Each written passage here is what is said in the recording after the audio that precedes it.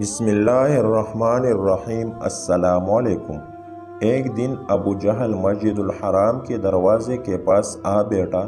رسول پاک صلی اللہ علیہ وسلم مسجد سے باہر تشریف لائے تو ابو جہل نے اپنا ہاتھ استین سے باہر نکالا اور کہنے لگا کہ یا محمد صلی اللہ علیہ وسلم، بتائے کہ میری مٹھی میں کیا ہے۔ اگر آپ صلی اللہ علیہ وسلم نے صحیح جواب دیا تو میں اپنے ساتھیوں سمیت آپ صلی اللہ علیہ وسلم پر ایمان لے آؤں گا۔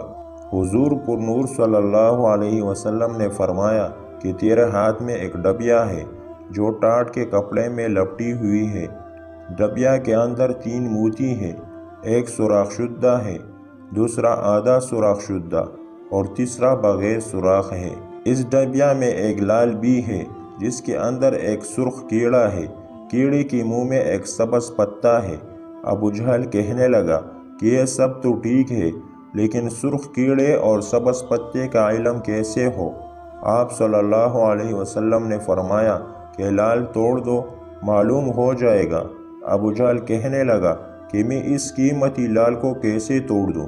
ایک صحابی رضی اللہ عنہ وہاں کڑے کہنے لگے کہ اپنے لال کی قیمت لگا کر اس سے توڑ دو۔ اگر رسول اکرم صلی اللہ علیہ وسلم کی بات معاذ اللہ درست نہ ہوئی تو لال کی قیمت میں ادا کروں گا۔ ابو جہل اس پر راضی ہو گیا۔ جب لال توڑا گیا تو سب نے دیکھا کہ اس میں ایک سرخ کیڑا منہ میں سبز پتہ لیے ہوئے موجود تھا۔ رسول پاک صلی اللہ علیہ وسلم نے اس کیڑے سے دریافت فرمایا کہ تم کب سے اس لال میں ہو۔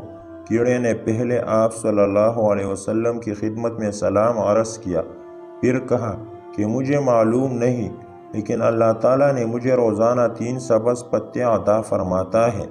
آپ صلی اللہ علیہ وسلم نے فرمایا کہ تیرا ذکر اور تسبیح کیا ہے۔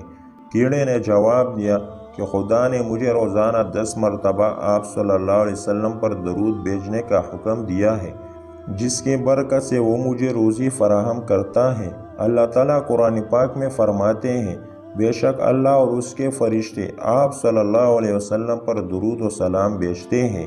پس اے ایمان والو، تم بھی آپ صلی اللہ علیہ وسلم پر درود و سلام بیجا کرو۔ صلی اللہ علی حبیبہ سیدنا محمد و آلہ و اصحابہ وسلم۔